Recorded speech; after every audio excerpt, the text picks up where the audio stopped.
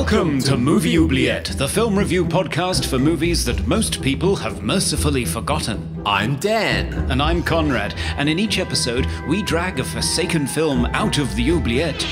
Discuss it and judge it to decide whether it should be set free or whether it should be thrown back and consigned to oblivion forever.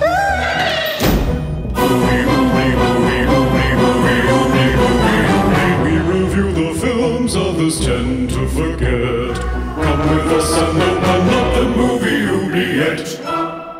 Hello and welcome to episode 101 of Movie Oubliette, the bi-hemispherical podcast for forgotten fantastical films with me, Conrad, sitting in a posh shed in Cambridge, UK. Mm. And me, Dan, returned from yet another holiday, this time in treacherous Tasmania, but now back in Melbourne, Australia. Ooh.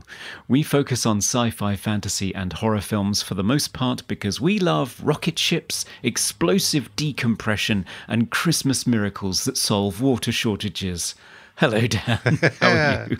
oh, good. I'm good. Yes. I'm, I'm back at work, so so obviously very despondent about that. But I, I, I had a good oh. holiday. And how's Tasmania? And were there any devils? Uh, we didn't see any devils. We did see a lot of wildlife, though, a lot of birds. Hmm. Um, and apparently, someone saw a, a pademelon, which is a, a, type of marsupial, kind of similar to a, a small kangaroo, but fatter. Um, apparently, they saw one. Uh, and oh, um, wow. But yeah, it was it was a good time away. We um, we stayed at an Airbnb. Uh, we ate a lot of delicious food, played some games, and, and saw the sights. Well, that sounds like fun. So Meanwhile, how, I've been. Yeah, yeah. how's your shed going? A little bit uh, more posh than the shed. I would say. Just a little bit, yes. yeah, so meanwhile, I've been trudging backwards and forwards across my garden with armfuls of stuff, slowly kitting out my new studio room. Ah, yes. Um, but uh, you will see it in live streams if we do more of those. But yes, it's uh, it's all set up now, and I'm very very happy with it. It's a lovely sort of movie watching stroke studio space. It's very nice. Yeah, I mean, I commented and I did describe it as it looks like one of those bookshops that you go in and sit on the couch and have a nice cup of coffee and read a book. It looks very comfortable. I just need a coffee machine. Yes, at work when I was on meetings, people did ask me if it was like a stock photo backdrop or whether I was actually here. Yeah. I mean, it, is, it has that very newly sort of uh, built, um, arranged look. Uh, it hasn't, hasn't got that worn in look yet. No, it doesn't. No, it's got the bamboo plant and the clean wood floor and yeah it's all very ikea catalog isn't it? Yeah. It just needs a few stains where i've tripped up and dropped something. Yeah but not yet. Yes. Mm. I, this is our 101th uh, 101th 101 episode 101st? Is that what you would call it? I think so, yes. But I did want to mention a few things uh, from the live stream of our 100th episode um, because mm-hmm. it was a bit hard to juggle like reading comments and doing the live, and then we had guests on, and uh, it was yeah a lot of things. But uh, uh, there was a, a, lot of talk about your hair, Conrad, and, and your attire. Oh, a lot of uh, a lot of adoration for that by Wicked Person and Michael Melinda from Retroblasting, and uh, Master Sun Forty Two also uh, mentioned your appearance. Very impeccable, I would say. Oh well, thank you. I'd like to put it down to Zoom filters, but it was just me. yeah, it's you just being very well dressed. Uh, I also saw a comment that was my favorite comment from someone, um, Bobby L. Collins, and he or she said, "I feel like I'm watching BBC News, Flight of the Conchords, and Late Night with Jimmy Fallon all at the same time, and I love it." and it was when we we had Isaac on, so it was the, the trio of us from different continents. Yeah, and all our accents. Yes. Uh, it was wonderful, wasn't it? I had a really good time, and especially with Serge there too. It was uh, it was really good fun with the four of us on screen, and I've loved all of the uh, little snippets that Isaac's been editing together and putting out on our socials. Yes. just reminds me of a good time we had with everyone. So Yes. yes, but back to the normal pod. Yeah, yeah. So, I mean, apart from that, anything in the mailbag today, Conrad? Well, uh, after the live stream 100th episode, we gained four new patrons. So, Ooh. hello to Chris, Ozma. So, we have the Queen of Oz listening to us now from. Uh-huh. From all, all the way in the Emerald City, Nick, long-time listener Nick, and Lester. So, hello to all of you and welcome aboard. Thanks for your support. Welcome aboard. I hope you saw the live stream. On Timothy Dalton's fiery doom in The Rocketeer, Philip Ball said, I preferred his demise in Hot Fuzz. Ah, yes. I love that movie. I love that movie. I can quote every line. Doesn't he end up impaled on a model village? Yeah, yeah, he does. Actually, I did. I did see a model village in uh, Tasmania. Did you? Yeah, and the first one I've ever seen. It was fun. But no Timothy Dalton's impaled. No, no. No. Uh, talking of The Rocketeer, Luis Saavedra said, Movie magic. I remember watching The Rocketeer at the local cinema and enjoying it from start to finish. Uh, sarcastic Asian 003 said, Watched The Rocketeer again last night. Uh, that scene, the blimp explosion, held up really well. What an underrated movie. So, Yeah. a lot of love for that movie. It really is. Yeah. Uh, when we asked what's your favourite steampunk movie, John M. Rouse suggested League of Extraordinary Gentlemen Ah, yes. and Hellboy. ah, yes. I, I'd forgotten about League of Extraordinary Gentlemen. I don't. I don't recall it being as bad as everyone says it is. I mean, it wasn't good, but it wasn't No. terrible. I, I mean, yeah, I, I had it had potential to be much better, but I don't think it was as bad. And it was sad that it was Sean Connery's last movie. Well, I think people take against it because it was the film that famously drove Sean Connery out of the movie business. So he Yeah. just threw his hands in the air and said, screw this, and just went and played golf for another 20 years or so. And even when Spielberg said to him, come back for Indy 4, he uh, still didn't do it. He said, oh no, if Spielberg can't lure me out of retirement, nobody will. So, yeah, I think that's why people hate that movie. But I haven't seen it for a while. Yeah, I haven't seen it for a while, so uh, maybe it is terrible. Yeah. Eddie Coulter says, Love The Rocketeer. I've been a fan since I first discovered the character in either 1982 or 1983. And here's some bonus trivia. Dan Stevens, the uh, creator of The Rocketeer, was a pretty stand up guy. He became friends with Bettie Page, on whom the Jennifer Connelly character is based, and helped her to arrange financial compensation from her publishers for the use of her image. Oh, There you go okay. looked after Bettie Page in her autumn years. Yeah, I don't know whether anyone knows, but Bettie Page, uh, she's she did some bad things. Did she? She was she went a bit crazy a little. I think she almost killed someone. Like she Oh, no. stabbed someone in the face or something. Oh my. I I re- uh, yeah. Uh, Google it. Like Bettie Page has done other things, Okay. not so nice things. Not okay. Perhaps not the sweet old lady that I was imagining. Yeah. Um, and uh, Eddie also says Timothy Dalton's character Neville Sinclair was, of course, inspired by Errol Flynn, and the '80s controversy caused by Charles Higham's biography Errol Flynn: The Untold Story, which alleged that Flynn spied for the Nazis. oh yeah, I did hear about that. Yeah, that's uh. I think it's been debunked, though. I'm not sure it's necessarily true. But Yeah. I know. I mean, everyone thought everyone else was a, a communist at one at some point. in, the, in that, Everybody uh, got blacklisted. yeah, yeah, back then. Yeah. And just on the streaming, I mean, apart from the comments that you read out, we also heard from Hugo Rioja, who said, Love the streaming. You guys should do that more often. Congratulations for the 100. So Ah, thank you, Hugo. thank you. Maybe we will. Maybe we will. You will see us in Iconicon, and Iconicon is not far away now. I know. It's uh, it's really fast approaching. It really is. It's quite scary, but we've got some amazing things in the hopper for that. So, yeah. Look forward to that. But what Yes. can we look forward to today, Dan? Well, today uh, I'll, I'll just go grab it. Yeah. Uh, okay, I'm on Mars. Have I oh. been on Mars before? It's a lot of might a lot of been. red dirt around. Hang on, I need to take off my glove to grab the movie. well, hang on. Is that safe? Sure. Here it is. I'm coming back.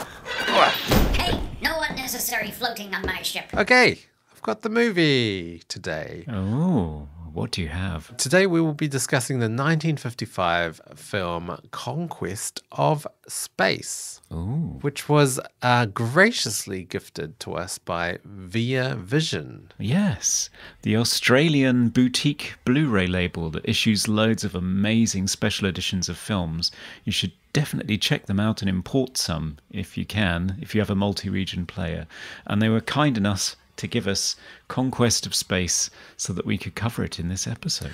Yeah, yeah. So during our live stream, they did give us another option. Uh, what was the other one? Audrey Rose. Um, but, it was um, Audrey Rose, yeah. Yeah, but we took a poll, and Conquest of Space uh, was the winner. Yeah, exciting. So we're in the 50s. Yes, I know. This is, I think, the oldest film that we're gonna uh, review. So it's directed by Byron Haskin. Haskin, written by quite a lot of people that I almost too many people to mention. But it stars Walter Brooke, uh, Eric Fleming, Mickey Shaughnessy, Phil Foster, Benson Fong, William Redfield, Ross Martin, and William Hopper. Ah, and what happens in Conquest of Space? Is Well- space conquered? Well, five engineers and scientists and uh, one stowaway are tasked with the unthinkable, traveling to Mars. After building the spaceship named simply Spaceship, they embark on their perilous journey. Surviving meteor surges and asteroids to crash land on the Martian planet. But their commander in chief, General Samuel Merritt, is struck down by space fatigue, sabotages their landing, and releases their water supply. Without water, how will the crew return to Earth? Maybe Martian snow and impromptu earthquakes will help. We'll find out in Conquest of Space. It, it has to be said in that voice, doesn't I it? I know, I know. Although it uh, never actually happens like that, like with a big reverb, like Conquest of Space. I, I, I was expecting it. It should be. let's, let's get into it. okay.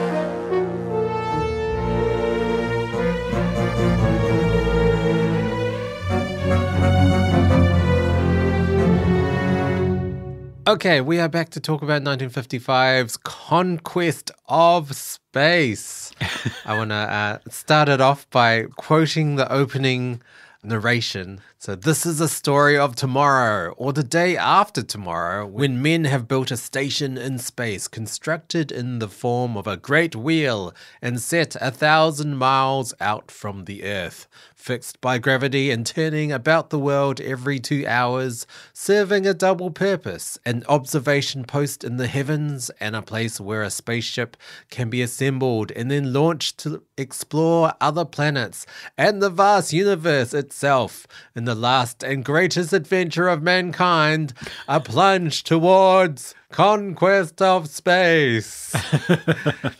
so that just sets the scene for the movie, doesn't it? It does, yes. And what I particularly like about it is it is punctuated by a rocket firing when he says, a plunge towards the, and then boom. And you think, were there words missing or did we miss anything Yeah, there? it, it's quite sudden, it's quite jarring. It almost sounds like he's about to say a plunge towards the universe, but then it's interrupted and then it comes up with the title card Conquest of Space. Yes. So, yeah, this is probably one of the oldest movies, especially sci fi movies I've ever seen. Hmm. I haven't watched a lot of sci fi pre 60s and 70s. Hmm. Uh, I think the only other old sci fi I've seen is um, A Trip to the Moon. Oh wow, That silent movie, that French movie. Méliès. Yeah. It's more kind of fantasy, I guess, Mm. uh, rather than sci-fi. And also, I've seen um, Forbidden Planet, which is like I think came out the year after this this movie came out. Mm. Actually, one more movie I have seen.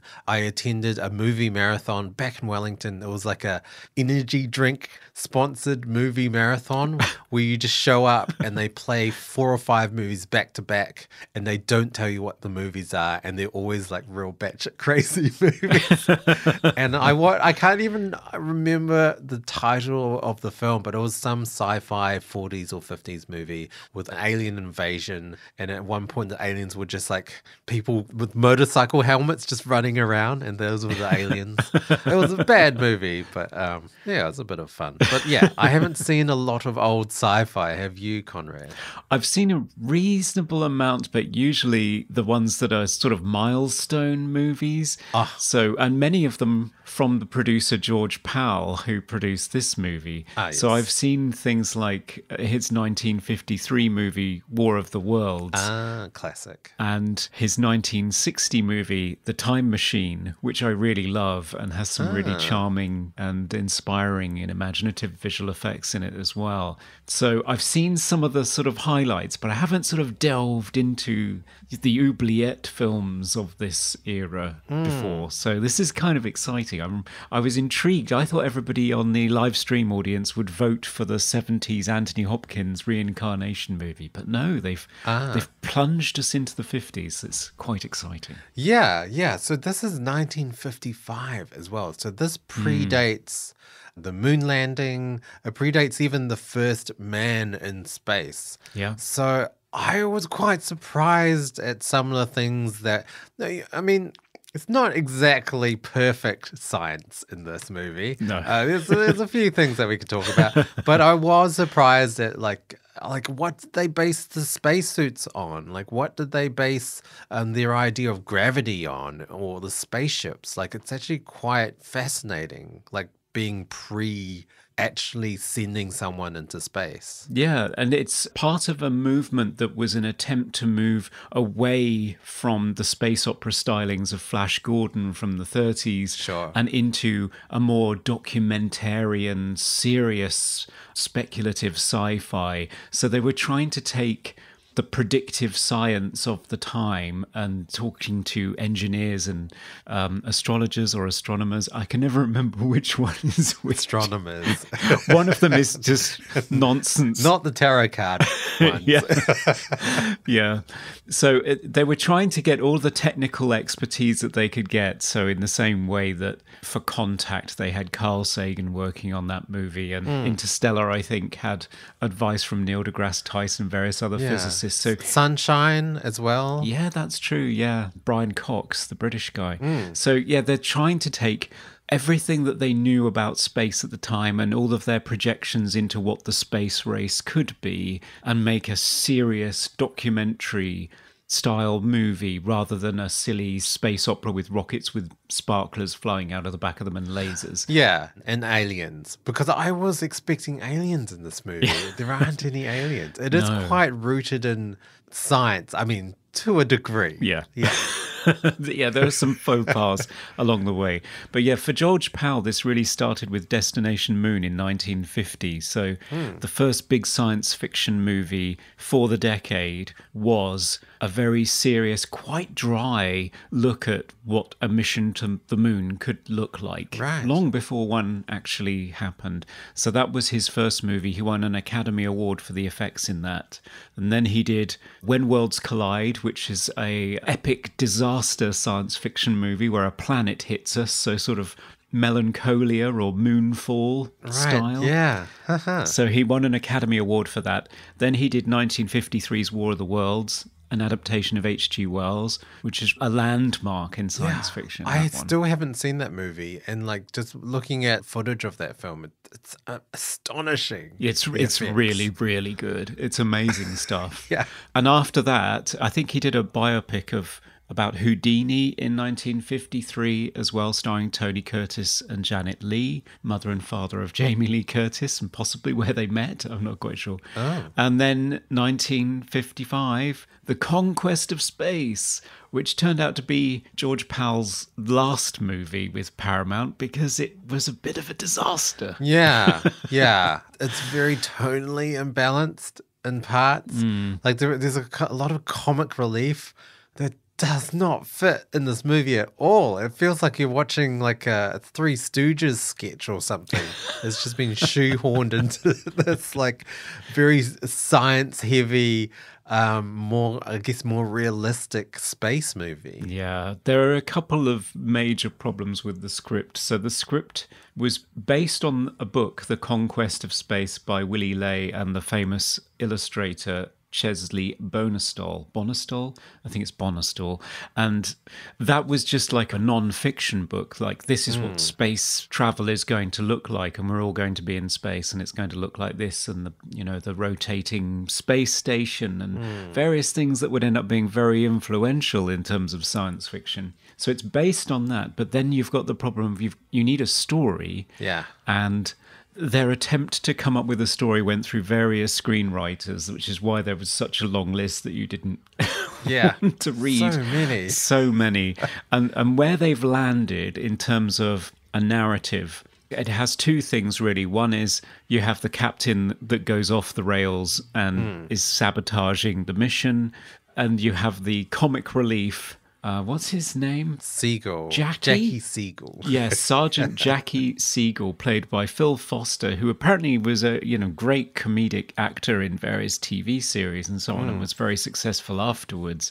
But in this, he's just uh, really irritating and not funny. Yeah, and sort of slapstick humor. So Hmm. not even dry humor either. It's just silly. Yeah. He almost seems like a cartoon. There's a scene where he has a double take at the food in the mess hall, and it's like, what is this? Like Bugs Bunny? I know.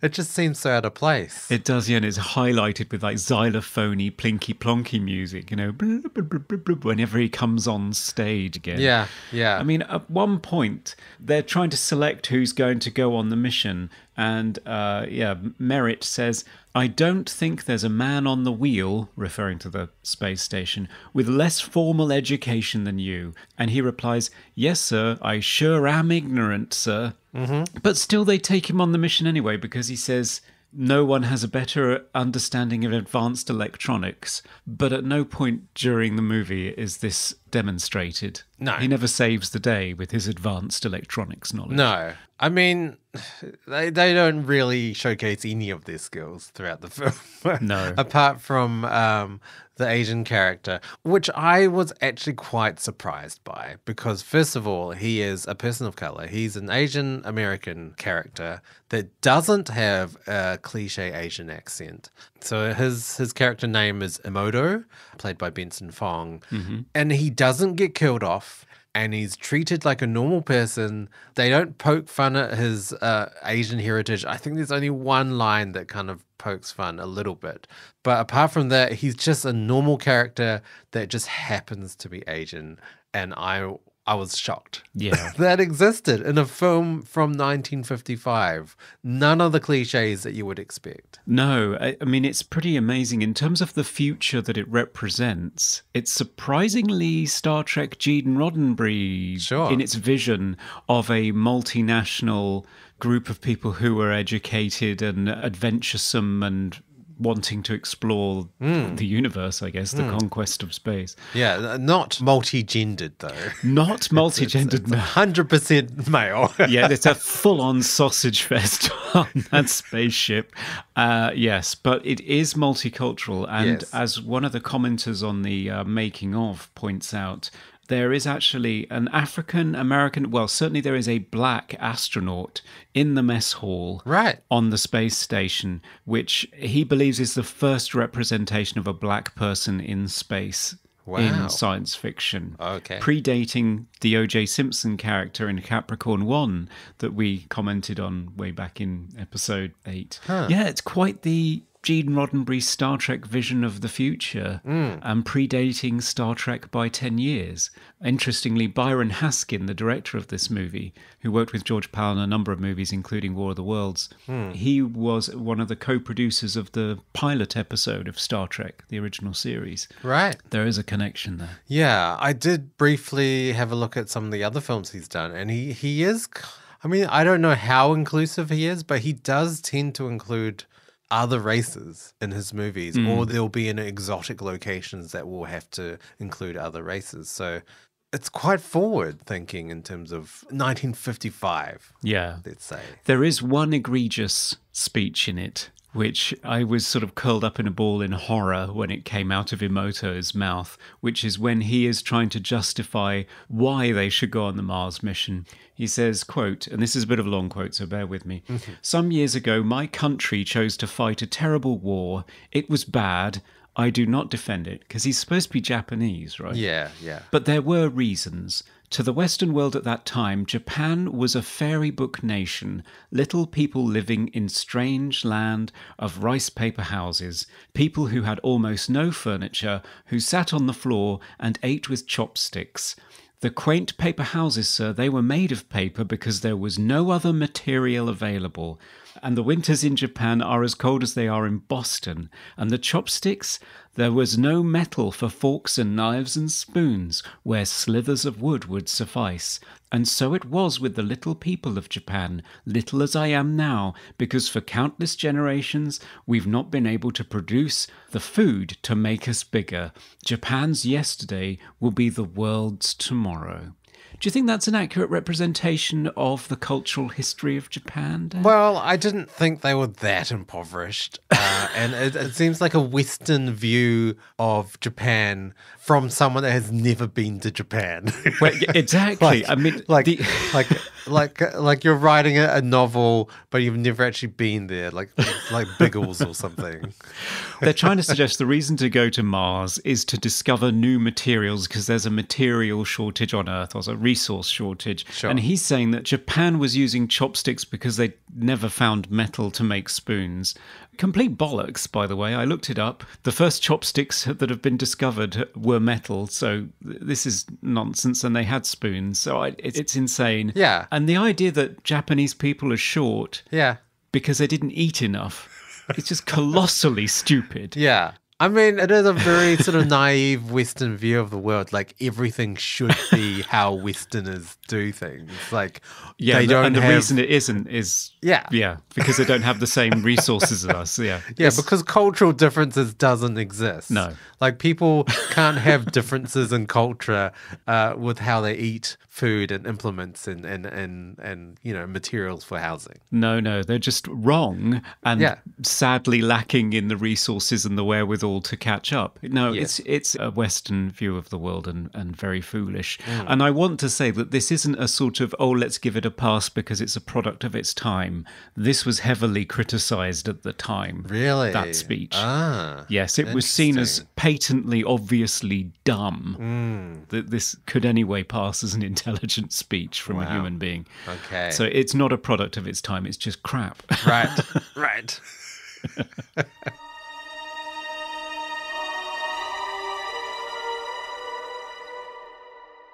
Can we talk about themes? I mean, there are some quite heavy themes I found in this film. There was some talk about the difference between exploration and invasion, the idea of God and religion paired with like space travel. How can they both exist?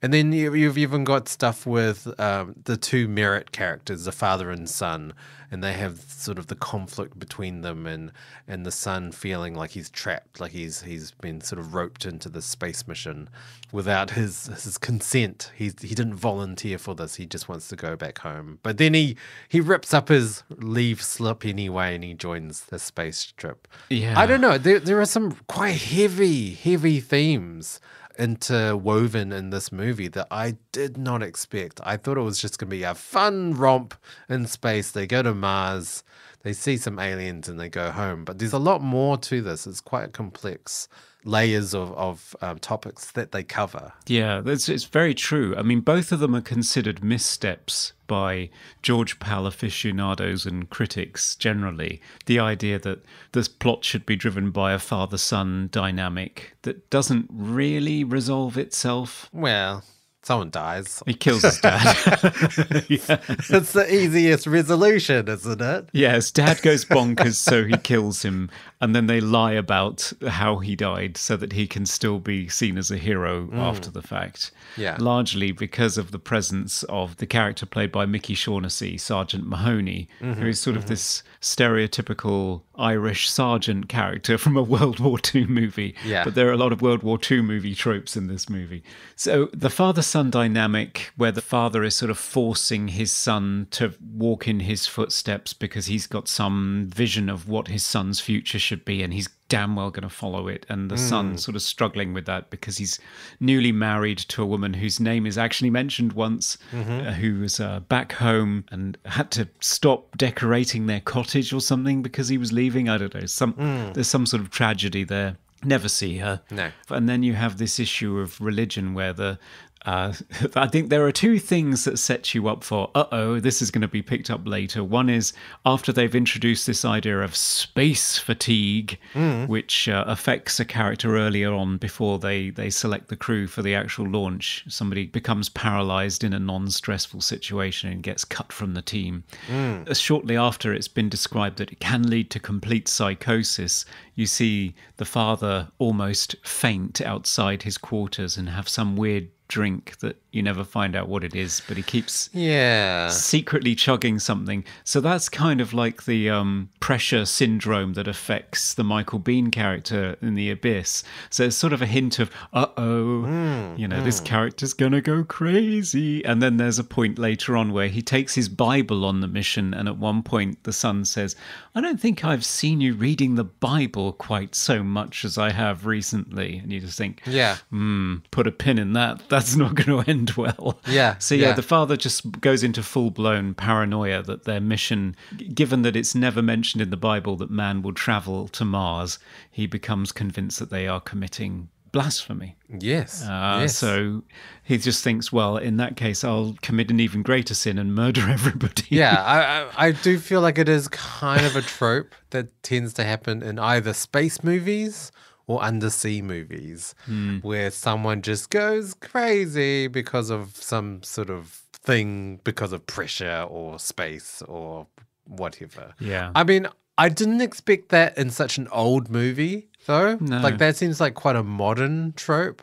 I did find a lot of things in this movie felt very influential Hmm. to other movies. Like, kind of found it similar to Interstellar and The Martian. Yes. And 2001 Space Odyssey that you've mentioned with the spinning space station Hmm. and even Silent Running as well. Yeah. Surely this must have influenced all of those films. Well, I think George Pal's clutch of movies in the 50s really did set the stage for what the serious sci fi movie would look like. I hmm. mean, he's not quite there. You've still got this ridiculous comic character rumbling around in it.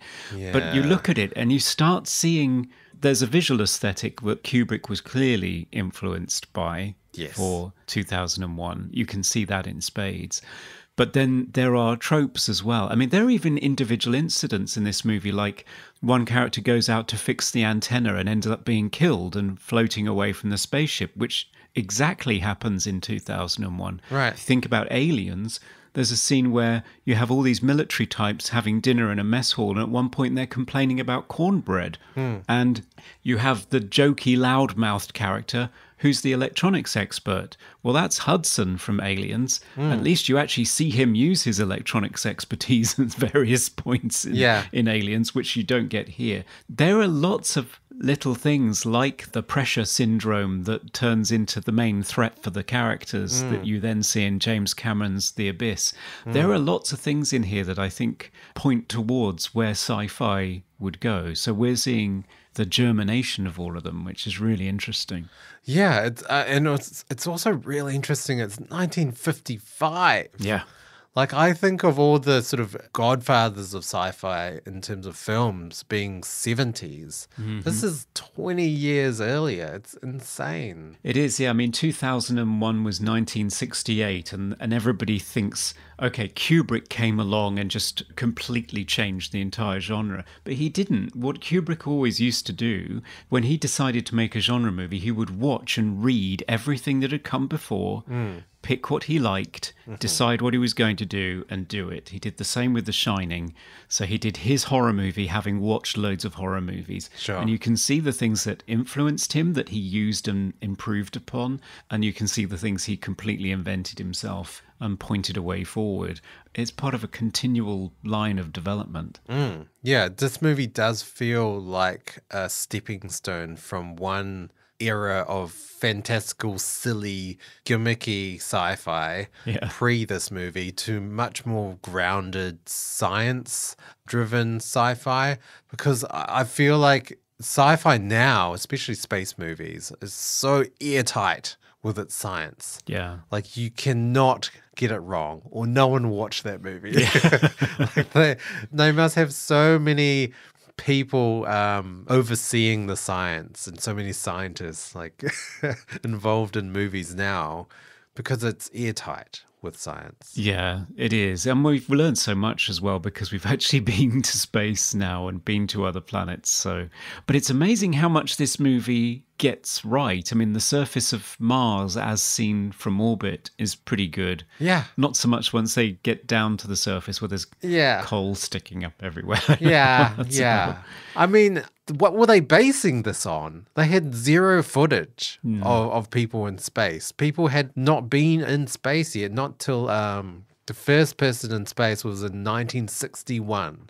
Uh, Yuri Alexeyevich Gagarin, uh, a Soviet cosmonaut. Yes. 1961. That's six years away from this movie's uh, release. Mm. That's a pretty astounding that they were actually able to imagine what it would be like with gravity and and how the spaceship, um, like the seats would swivel round and they would be ended up lying down. It was Yeah. and even the idea of having magnetic boots, as silly as they were, they did think about it. Yeah, they did, and they got the uh, revolving ring for the space station, so the centrifugal force would create artificial gravity. You have a spacewalk scene where they move from one shuttle over to the space station, although that's, yeah, a little bit ridiculous. I mean, very dangerous. They're completely untethered. they just float over from the rocket to the space station, completely untethered in, in their spacesuits. It's it's insane. Yeah. But yeah,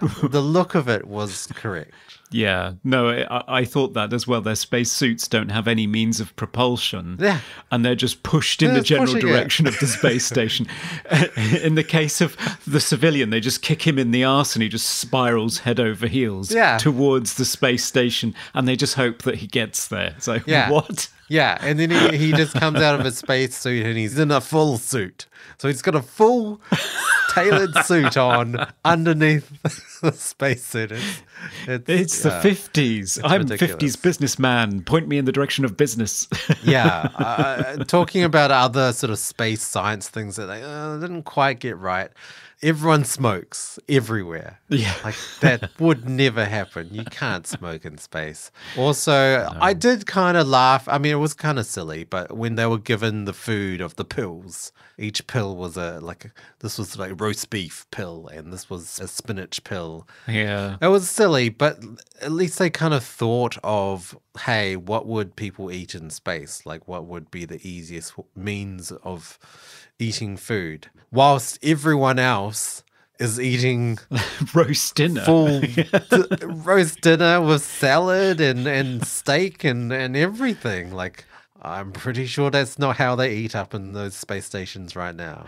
No, I'm sure it isn't. But you can see they put some thought into it. They just made it disappointingly literal that it ends up being pills for specific foods Yeah. Rather than just nutrition generally in a paste, which I think is where the space missions landed. Yeah. They just have baby food, don't they, pretty much? Mm, but yeah, there, there are various things. I mean, it's quite ridiculous. Originally, they're supposed to be going to the moon, and then they just get a, a message from businessman in business suit to say, hey, down on Earth, we've just decided you're going to Mars instead. And in case you were wondering, the distance to the moon is about 238,000 miles and takes around three and a half days to get there. Hmm. On the other hand, Mars is 33.9 million miles away mm-hmm. and takes nine months, or a 21 month round trip, allowing for the fact that you have to wait for a launch window to get back to Earth again. I thought it took longer. No, apparently. I always thought it took like six years to get to Mars. No, apparently it's 21 months round trip. Wow. So they do that in The Martian, don't they? They go back for another year to rescue Matt Damon. Yeah. But still, Oh, it's closer than I thought. it's closer than you thought, but it's still not sort of. We're going to go from a three day trip yeah. to two years. Yeah. So yeah, it's a bit ridiculous. It is. It is.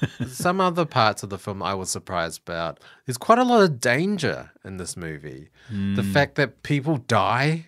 That guy fixing the the satellite antenna. I guess does his suit get compromised and his head explodes? Is that what happens? Yeah, is it? The classic head exploding space death. You have to do it. you have to do it. And maybe this is the first one. And it's quite gory, too. In fact, it was so gory, they had to cut stuff out of it. You'll notice it's a bit jumpy, that sequence. It goes from him being hit by a small meteorite.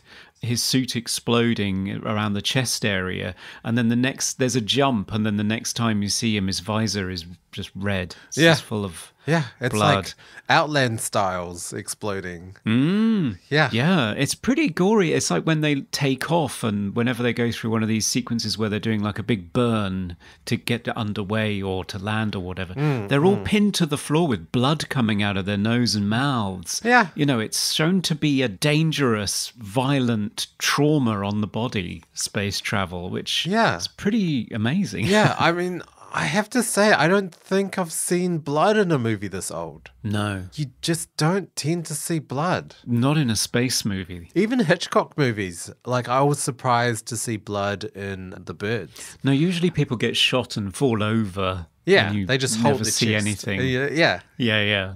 You might see a bit of ridiculously red paint on their hand if they need to sell it, but Sure. usually nothing. No, it's quite gruesome for its time. I mean, you know, relatively. I mean, it still looks yeah. like red paint in this movie. It doesn't look like blood, Yeah. but it's, it was still surprising to see it nonetheless. It was. Well, it's still three strip Technicolor, so it, yeah, all the colors are very, very vibrant in this movie. Right, right, right. Now it's time for random trivia.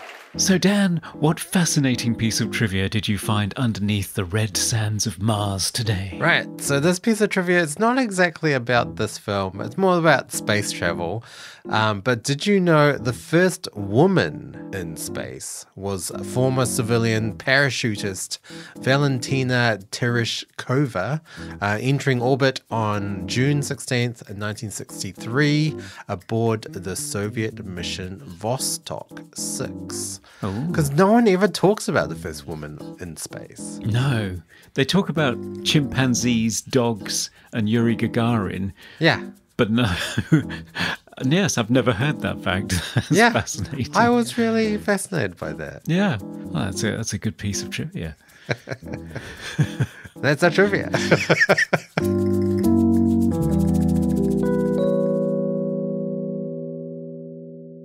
So, thinking about other elements of the film, what did you make of the score, Dan? yeah, so it's scored by Van Cleave, who I have never heard of. Uh, apparently, has done a lot of orchestration, um, mostly uncredited for a, a lot of movies. But yeah, I, I've never heard of this composer. I like the score. It did feel kind of radio dramery, like it was very theatrical. Uh, it felt like it was a radio-sized orchestra as well, so a lot sort of kind of stripped back. Yeah. Um, yeah, a lot of brass and strings. Wasn't what I expected for sci-fi of that decade. I thought there was going to be theremin and more organ or maybe early electronic music um, instruments, but it was very grounded in, in almost like adventure action adventure type music. Yeah, very much. With one exception, one cue that keeps recurring, or a motif that I really like, which is these floating two chords that he has on tremolo strings and soprano voices for the space scenes. That's really sort of mysterious and um, shimmering and strange. And Yeah. yeah, I love it. It's really good. Yeah, it, it was a very emotive score. Like it was kind of teetering on like fantasy magical almost. Like it hmm. has a lot of chromatic movement, I think. It wasn't theme heavy, but it was still quite memorable, like lots of brass. Yes, and uh, fanfares, and and it feels like a war score. To be honest, it feels like a score for a war movie Right, in some okay. places. Ah, it's quite militaristic. It's a very militaristic view of uh, the space exploration, which again turned out to be quite accurate. Certainly for the early stages before billionaires started firing William Shatner into space for no reason. Yeah, yeah. Yeah, it does feel quite martial in a few places. I Hmm. thought, but I liked it generally. I mean, sometimes it does do things that are a little bit over demonstrative, like the Christmas Carol that seeps in for the Christmas miracle at the end of the Yeah. movie. yeah, I was a bit surprised by that. Like it, it seemed unnecessary. Yeah, I mean, I guess to show the passage of time or to show their sort of resilience and holding on to traditions, maybe. But uh, yeah, it seemed a bit out of place. Yeah, for the most part, I thought the music was very good. The sound, not so much. no, This, I mean, it's the 50s. Did they even do Foley work back then? it doesn't sound like it. No. yeah, yeah. I mean, they did fairly well with um, rockets and hardware and the sounds of Yeah. meteorites. I mean, they take liberties with the idea that there wouldn't be any sound in space for sure, because there's lots of it. Oh, well, and also it's pre first man in space anyway. So, you know, there's a lot of liberties there. Uh, one thing I noted that is often in movies that wasn't in this movie sound wise is um, when they have the helmets on, normally they have like, you know, the radio voice. They just sounded like they just had plastic helmets on.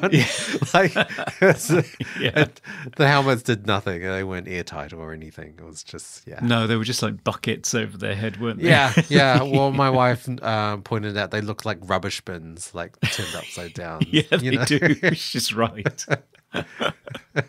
yeah, but generally the production design is pretty amazing. I mean, certainly the set of the rocket or spaceship that they're in, Rocket was great. it's good. yeah, I mean, that single continuous wing for a spaceship, which was based on a sort of winged bomber, Right. Which you see in Indiana Jones, I think. Oh, okay. That design is pretty amazing. The rocket, when they're landing, and the, the heat shield sort of folds back over the cockpit so that you Hmm. can see out the windows when they're landing. And they're, as you said, their chairs swiveling. yeah. The sort of things that you would see in Interstellar years later. I mean, it's Hmm. it's pretty good. It's pretty good. It's pretty good. And, and even um, that sort of first meteor surge that they have on the space station, and everyone just gets flung to the floor. It's a good effect. I mean, it's probably just a tilted soundstage, but um, they did very well with like what looked like quite limited means. Yeah, it is limited means, and I think sometimes that shows that George Pal was having a bit of a fight with Paramount over the budget for this movie. Right. And unfortunately, the film that's put out was not finished. So, particularly the optical effects in the movie look like they're the first pass. So, you have a lot of uh, what's known as chattering matte lines around spaceships. So, instead Ah. of being fixed and solid, the sort of flashing and so on. It's because Yeah. that's like the first pass just to see what the composition looks like. And then they were supposed to go back and do them Wow, properly. interesting. And then right at the end of the movie, when the Mars quake happens, Yeah, yeah. There's a glitch. there's a glitch because there's uh, all of the characters in the foreground, and then uh, towards the end of the shot, they just disappear. Yeah. And all you can see is the miniature plate behind it because they just, I don't know, forgot, didn't Yeah. finish it. Yeah. So they vanish. it's a bit embarrassing. Yeah. Because it's still in the movie. Yeah. So yeah, they didn't finish the movie, and um, it looks a bit shoddy here and there. Yeah, the chattering stuff I didn't realize was like just a first pass. I thought, oh, it's this early blue screen stuff because Mm. you see that on like Zoom calls, you know, when people put like Yes, a different yeah. background and it's, it kind of glitches in and out of the background and, and, and the person in the foreground. So I thought it was that, but Yeah. yeah. That's disappointing that they didn't get to properly finish the visual effects. No, they didn't. And so the finished film is not one that George Pal would talk about at great length ah, afterwards. wow. He was, by all accounts, a very gentle man, a very kind man who avoided conflict, and he would never really talk about his failures or badmouth anybody. Mm. He would just move on to the next thing. So he left Paramount and went to MGM and then did things like Tom Thumb, which was a massive hit, and The Time Machine, which was a massive hit. And Wow. so his career survived this, but this is it's regarded as a missed opportunity or the Yeah. greatest disappointment of George Pal's career. Right, right, right. Because I was a bit underwhelmed by the visual effects. Like, it is fif- 1955, so of course, you know, they had very limited means of, uh, in terms of visual effects. But a lot of the scenes did look quite Thunderbirdsy. Yeah. Like, and not in a good way. Yeah. Like some of the rockets looked like obvious miniatures. And when he crashed landed on Mars, it does look great, but it does also look like an obvious miniature that they're crash landing on. Because when you compare it to War of the Worlds, which mm. came out three years or was it two years before this movie, it's astounding visual effects for that film. Yeah. Um, and also because this director, um, Byron Haskin, is known for like uh, sort of sea movies, like a lot of movies with ships and galleys and, and boats. Oh, yeah. And looking at that footage, it's all miniatures, but they look incredible. Like they Hmm. uh, flawless. They look like the real deal. Yeah. So he was an expert at this kind of stuff. He was kind of a journeyman director. He obviously wasn't the kind of director who would look at the script and say, hey, this isn't working. Let's figure out how to fix this. Because he just shot this script as it came to him and it's crap. Hmm. But in terms of visual effects, he was sort of the leader in that field and did, when he had the budget and the time, did produce things that were amazing, like War of the Worlds. Hmm. But then when he didn't, yeah, it didn't go so well. Yeah. so he's directed a film called Robinson Crusoe on Mars, I think. Yes. Which sounds batshit. I mean, I would love to watch it, and I guess uh, his it was his sort of redeeming sci-fi after this movie. Yeah, his personal favorite. It's kind of The Martian. Yeah, I it think. sounds like it. It is, yeah, I think it is. I don't think he grows potatoes in his own poo, but I Right. think- yeah, it basically is a guy getting stranded on Mars trying to survive. So yeah, Hmm. quite the precursor again. And he also directed Treasure Island, right? Which was the first live action Walt Disney film, hmm. which I think I've seen because I was huge into the classics when I was a kid. I, I read Treasure Island, Three Musketeers, and Man in the Iron Mask, and all those sort of classic books. So I definitely would have watched that movie. And again, that one was considered to be shockingly violent for its time as well, because there's a point in it where a child shoots a pirate in the face. Right. yeah, so pushing boundaries even then. yeah. It's great. Coming to you live from the Movie Oubliette Theatre, it's the prestigious Mobley Awards. Okay, it's the Mobley Awards. It's where we present our favorite asteroid avoiding parts of the film in a number of space conquering categories. Best quote. My favourite quote in this movie comes when our favourite character, Sergeant Jackie Siegel, floats out of his magnetic boots because he hasn't zipped them up, and General Merritt says, We'll have no unnecessary floating aboard this ship. yes, yes, that was my that was my backup quote. Yeah, it's a good one. Uh, so my favorite quote, it's a profound one. It's when General Merritt is getting all like existential about religion and space travel, and uh, he says the biblical limitations on man's wanderings are set down as being from the four corners of the earth, not Mars or Jupiter or infinity. The question is, Barney, what are we? Explorers or invaders? Hmm. I really like that. Like it's it's kind of analyzing colonialism and and you Yes. know exploring other countries. Were you exploring or were you invading?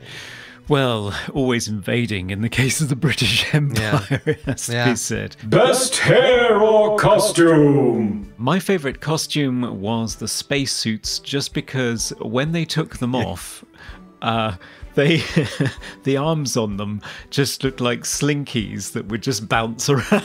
Yeah. which I found hysterical. I mean, the whole suit just looked like they'd just gone to the local hardware store and just duct taped a whole bunch of stuff together. They've got a rubbish bin for the helmet. They've got some ventilation, like corrugated tubing for the arms, and they've just like strapped two uh, fire extinguishers to their back. Uh, to look like Yeah. oxygen ox- oxygen tanks, yeah. I, I, I had the spacesuits as my my uh, nomination as well. Most 50s moment. I thought the most 50s thing about this movie was just the optimism about our limitless progress and our f- magical future in space together. It was all a bit sort of gee whiz, and we're all going to be up there in space stations. It's- I think it's notable that Disneyland opened the same year, 1955, with Tomorrowland, with its promise of this ah, bright right. sci-fi future that everybody thought that they were on the brink of in 1955. Hmm. Yeah, I mean, I I couldn't really pick anything. I don't really know the 50s that well. Sci-fi in color? Is is that a thing? Like uh, I guess everything pre-50s uh, sci-fi wise wasn't in color or wasn't in like Technicolor. No, that's true. I guess that's the only thing I could pick out. Favorite scene? My favorite scene, all the scenes requiring depicting gravity.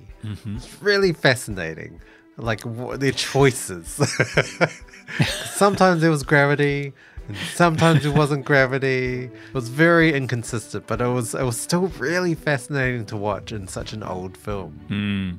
There's still something they have problems with now. Like if you watch Interstellar, uh, sometimes you know they're fully up on wires and floating around, and sometimes I think Anne Hathaway was saying that they just had to sort of stand on one leg and to sort of just float a bit.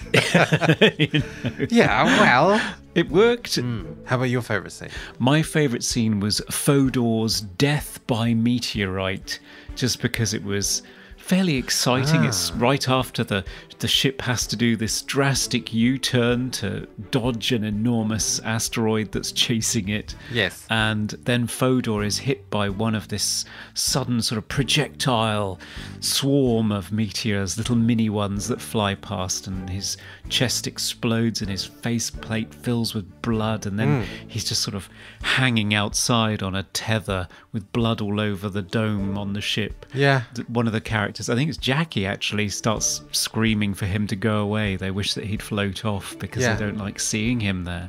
So it's it's pretty grim, pretty shocking. Hmm. Most cliche moment. I was struggling to find sci-fi cliches in this movie because I was finding mostly war movie cliches, ah. like the devoted sergeant that sort of strangely idolizes his commanding officer to the point where he's prepared to stow away and threaten people with violence if they besmirch his legacy. Hmm. Hmm.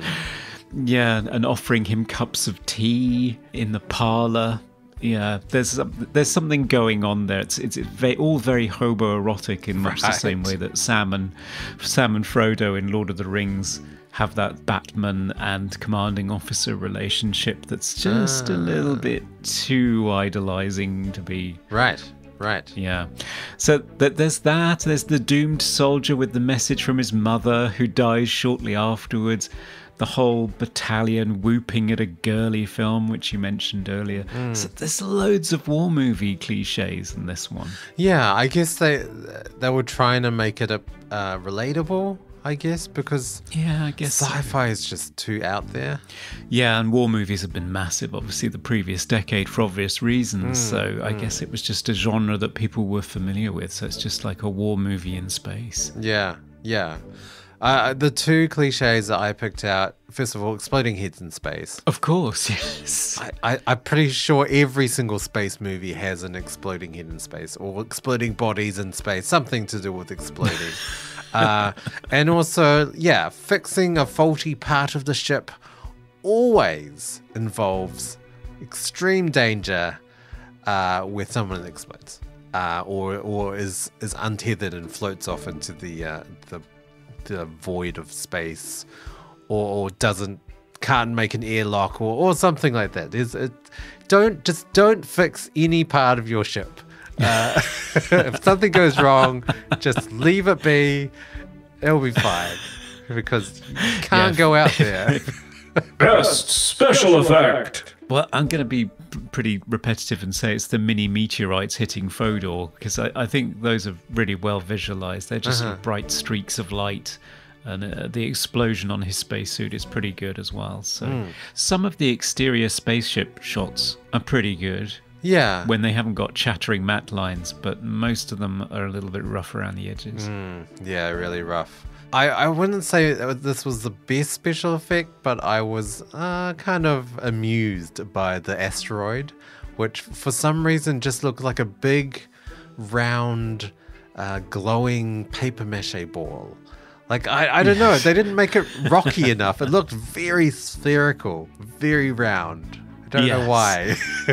No, I guess just the lack of experience of what asteroids actually are, I guess. That's Yeah. the one sort of pulpy comic booky thing in the movie. Mm. Favorite sound effect. Yeah, not a lot of sound, as I mentioned in this movie. Uh, the rockets, I guess, it's always interesting to hear how rockets sound in sci fi. Uh, these had a very high pitched, sort of squealing noise to them, like almost like a kettle. Yeah. It was quite piercing.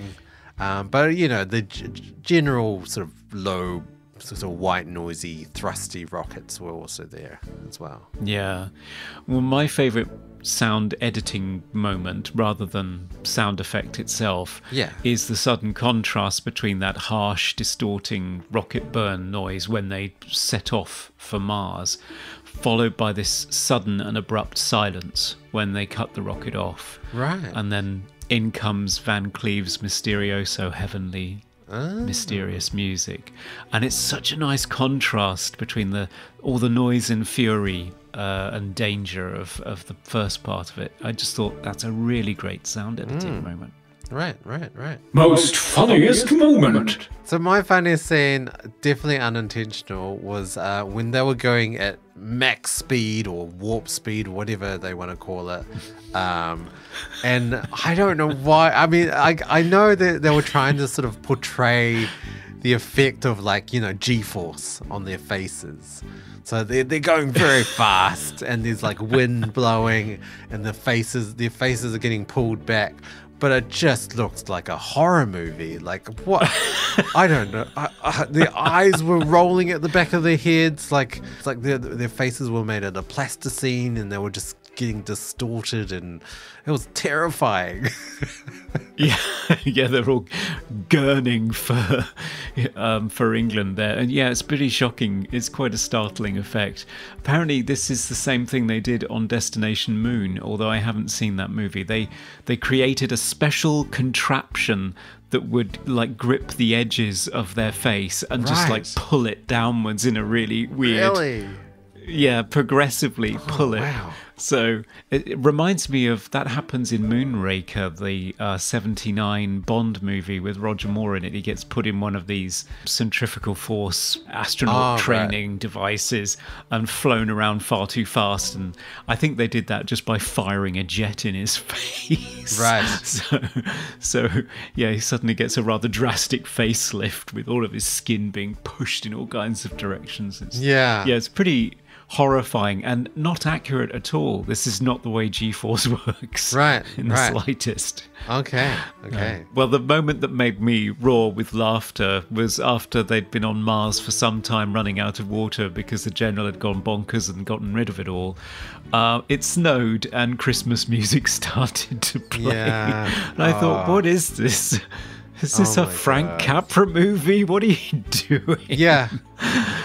Uh, And that's our mood Hmm. list.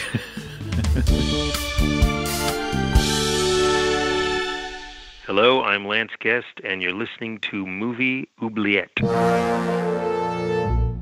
Okay, it's that final part of the pod. Uh, final verdicts. Should 1955's conquest of space be thrust into outer space and beam down on all of us to adore, or should its head explode in a meteor surge and be thrown back into the oubliette to be forgotten from sci fi history? Conrad. Conquest of Space, delivered to us by our fans and by Via Vision. Shout out to Via Vision. Mm. Well, what's your final verdict for this movie? Well, I think it's an important stepping stone, as you've said, from one era of sci fi to another. But whereas it's not one of the milestones like Destination Moon and War of the Worlds and The Time Machine, some of the other films that George Pal produced, this is uh, quite famously the one that was a bit of a disaster, both because of its script, which I find uh, preposterous and irritating. the comedy relief is terrible. Um, I take your point that they're engaging with a, a bigger sort of colonialist story with the religious man gone mad and paranoid story, but I didn't find the whole man goes crazy because of religion and turns into a saboteur who's even hell bent on killing his own son thing particularly convincing. I didn't find the father son thing particularly engaging either. So the script is bad, the special effects aren't very well polished or finished. Uh, I'm glad that Via Vision has done this amazing release with all of these commentaries and extras, and it was very kind of them to supply it. It's great that they've done it because this film has been very hard to find because it failed for a very long time. It was very difficult to see it. So I would say if you're a huge fan of the genre and you want to see a film that undoubtedly Kubrick watched before doing 2001, and one of the films that created many of the genre tropes that uh, we're all so familiar with now, by all means, check it out. It's worth doing. But as a film, do I think it's an enjoyable film to watch? Is it an engaging, effective piece of filmmaking? Absolutely not. No. so I would puncture that thing and let the visor fill up with blood and then and then send it hurling off into space. Uh, to be honest, but uh, it's a tricky one because it is an important film Yeah. in many ways, but it's not a very good one. Yeah. yeah. I mean, I think for me, I, I will give it a little bit of leeway because it is from 1955. That, that was a long time ago. Um, and this movie does touch on a lot of very modern tropes for sci fi that I did not expect from 1955. Uh, yes, it's it's not uh, it's not a perfect film by any means. Uh, there are problems with all the things that you've mentioned. Um, I mean, even visual effects wise, it could have been so much better. But you know, studio interference and, and all that sort of stuff. Uh, it's it's a shame. I think for me, this movie is such a sort of timepiece. It's almost like a, a piece of forgotten history that I, I think people would be fascinated to watch. Uh, yeah, I, okay, it's not the most enjoyable film. It's a little dated.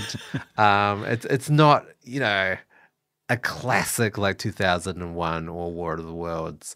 Um, but I think it is like a historical um, timepiece of, of cinema that is, is worth a watch if, if you want to see sort of the progression of sci-fi as well. Like I, I'm I am really fascinated by sci-fi as a cinematic genre that didn't really sort of flourish until visual effects caught up. Hmm. Like it was very hard to do sci-fi as a genre pre CGI even. Like it, it was tough. It was a very tough genre to pull off. And yeah, I, I I'm very fascinated with how it originated and and this this movie, Conquest of Space, as that sort of missing link between sort of the old world of sci-fi and the sort of modern, more scientific world. So I would recommend this movie to sort of more sci-fi sci-fi fans. Yeah. Okay. Interesting. Well, that means our 101st episode. the first episode since our centenary is going to be Down to the Coin. Yes. The coin of fate. Okay, Danny, you're going to go for heads or rocket tails? Oh, ah, well, you said it like that. I'm going to go for Rocket Tails. Okay, here we go. Oh, Oh, it's Tails. you always win the coin toss. I don't- That's something I didn't do for our 100th. I was going to look at the stats for how often you win the coin toss. I don't. Th- I, I think it's a pretty fair, fair winnings on, on both of our parts. But um, I'm very happy with that result. Yes, Okay. Con- Conquest of Space lives again. It conquers after all. Off you go, conquest of space. Fly. Rocket away. Uh, well, huge thanks uh, to our uh, viewers or listeners of, of the live stream that, that chose that film for us, and of course to Via Vision for gifting us the film to talk about with all those great extras. I was at the extras, the, the featurettes were fascinating to watch. There's a there's pretty much an expose or sort of like a biography of Byron Haskin in one of the featurettes, which was uh, yeah. Really, really, really interesting. Yes, and the two commentaries, uh, one by a historian who looks after George Pal's estate, Justin Humphreys, uh, is fascinating, and then Barry Forshaw and Kim Newman, a pair of British critics and experts in uh, sci-fi and horror, do a commentary too. There, it's a really good package. Uh, Via Vision always do amazing Blu-ray special editions, so it's well worth checking them out. Yeah. And I'm not just saying that because they gave us a freebie. I buy their stuff all the time. Yeah. But it was a really good insight in, into cinema history, like um, sort of the, the progression of of George Pal and um, Byron Haskin, um, and and all the films that they, they did together, and and sort of subsequent films. So it was, mm, yeah, I learnt a lot. Yeah, it's a fascinating package. So if you are interested in this genre and this feels like something that would fascinate you, then do check it out. Yes. Yes. And if you are fascinated by our podcast, you can look forward to our future episodes by following us on all social media platforms Facebook, Twitter, Instagram, uh, Reddit. And why not watch our live stream on YouTube as well uh, if you didn't catch it live? And you can email us at movie.oubliette at gmail.com. And if you'd like to support the show, then you can head on over to Patreon, where for as little as a dollar, you can nominate and vote on films for us to uh, cover in future episodes and get extra extended parts of the show. And for $5, you get access to exclusive extended interviews with our special guests and a monthly minisode, which we now do by video, possibly live stream. You never know. We might live stream them. Yeah, maybe, maybe. Uh, and we have merchandise as well on Redbubble. Everything you can uh, decorate, you would want to decorate your house with, or maybe your garden studio. Uh, just head on, head on over to Redbubble. I do have a movie oubliette cushion on the sofa behind me. Yes. And I'm thinking about getting a clock too for Oh. that wall. Oh, very nice. yes. So, yeah, loads of amazing stuff at Redbubble.